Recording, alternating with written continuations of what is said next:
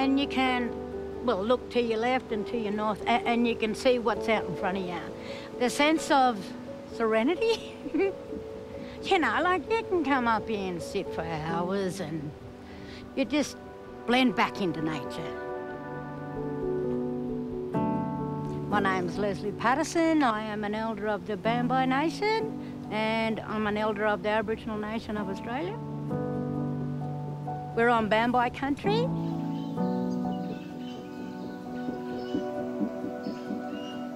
So there's 11 of us rangers. Um, you know, we're all brothers, sisters, cousins and aunties and uncles. And what our role is, is to uh, look after the country, bring it back to the country our ancestors had it. So talking about stories, um, you know, doing dance, talking language again, talking about cultural burning and how it's uh, benefited our people for thousands of years and how we've been here for thousands of years and we are the longest living culture on this, on this earth. My name's Tremaine Patterson and I've been a Banbai Ranger here for 11 years now. Our people did some artwork on here. We had the, the echidna, the kukri in Banbai language. Uh, we also have kangaroo and then also um, along which people indicated uh, days' journeys to the next uh, food source or water source. Wattle Ridge is an IPA, an Indigenous protected area, which means it's owned and managed by Banbai people.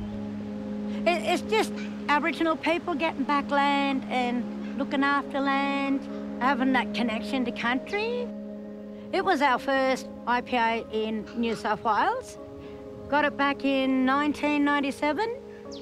It was sick and we came out and we had a look and um, that's when we started doing burns. This is around about a good time to burn, right around to uh, September. With the way we burn, it's um, totally different. Um, we do it at the right time of the year. We don't decide when country needs to be burned. She tells us when it needs to be burned. So that's who we listen to. And that's our job as our people to be able to look after the country and know that knowledge as well and get it passed down from our, from our elders and pass it down to our, to our younger generation. So that knowledge keeps continuing. Before we do a burn, we, we look at which part of the country needs burning first, so we'll go assess it. We'll put in um, containment lines. We'll have all the rangers um, out there to help. We'll look at which direction the wind's going. We'll, we'll have a start ignition point, and then we'll just walk it from there. Um, we'll just follow it. We just use grass to push it along. We use the wind, the sun, the heat. It gives enough time for the, the animals, the creatures, the critters and all that to get away. They can smell the smoke, they can feel the fire coming. So when the, when the smoke hits the trees, the seed pods open up and then when um, you know the winded country time comes, where all the wind's blowing and then you know all the seeds are getting flicked around and then they hit the ground and then the rain come, and then it soaks it all in and then summer comes as well. So there's all that process you've got to look at as well. You know, our people knew that, and it's sharing that knowledge and to be able to hold that knowledge and, and keep it going. That'll that'll get this country back to its natural state. Won't be in our lifetime, but you know, hopefully our children's children's children can, you know, just keep pushing that along. At this time, I'd like to introduce Michelle McKemey. She's done her PhD on Wattle Ridge. She's an ecologist.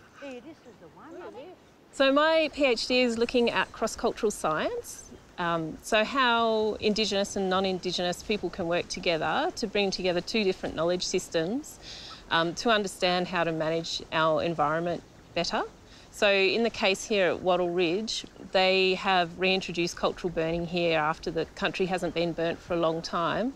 And we were really interested to follow the ecological and the cultural changes that came about when cultural burning was reintroduced to a long unburnt ecosystem.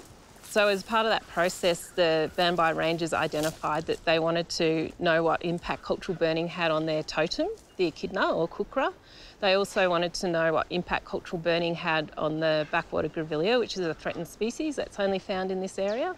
With the echidna, we found that cultural burning had no significant impact on its habitat, whereas the other types of fire, the hazard reduction and the bushfire, did have a significant impact on its habitat. Our last major fire was in 2019. We had about eight fires actually burning around us. Yeah, just come through roaring. You know, extreme fire. Australia didn't need it. A lot of the Banksia has sort of suffered a bit.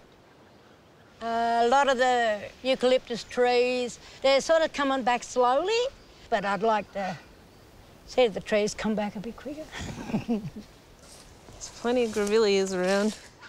like you can just see some of them coming, just coming through. Yeah. In this area, we call it the backwater grevillea because it only grows in this area. We've tried different ways of stimulating it to grow too, but we found that the fire's the best for it. It germinates en masse following fire. So we found we put one cultural burn in and it killed 40% of the mature shrubs, but it also stimulated a mass germination event, which meant that there were both old growth shrubs and the new generation of seedlings in a multi age community. But then with the bushfire, it came through and it killed 99.6% of all the mature shrubs. So it just took out all of the old growth grevilleas. If we continue to get frequent fire, that seed bank will continue to be depleted, and this plant, which is only found in this area, will be heading fairly quickly towards extinction. The predictions are that the world is entering the Pyrocene. So you might have heard of the Anthropocene, which is um, man made changes where the human population is actually having an impact on the entire planet. The Pyrocene is an extension of that, and that's saying that with climate change, fire is going to become a lot more prevalent. It'll be more dangerous. Uh, it'll be bigger bushfires like the bushfires we saw with Black Summer. So we really need to have our A game for how we're going to manage these bushfires, and we need to use all the knowledge systems we can possibly use. So Aboriginal people can really contribute to that through their knowledge and just by allowing them to access their land and being able to practice their traditional practices of fire management, it can really contribute to that overall strategy that we're all going to have to have going into the future to manage bushfire.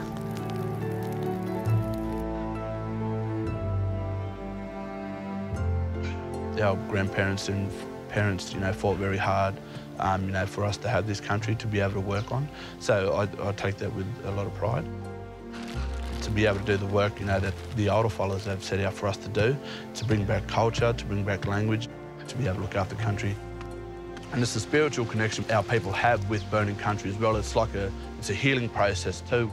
So it's up to us now to be able to bring that back and to start teaching that as, um, you know, to our children. Very important.